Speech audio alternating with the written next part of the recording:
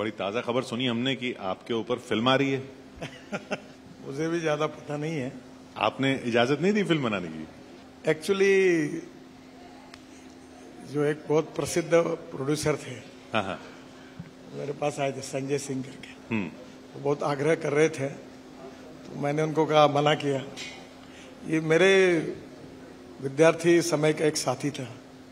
उनके इसमें उन्होंने खुद होके काम करके आधा कर दिया था। अच्छा। तब मेरे पास आए।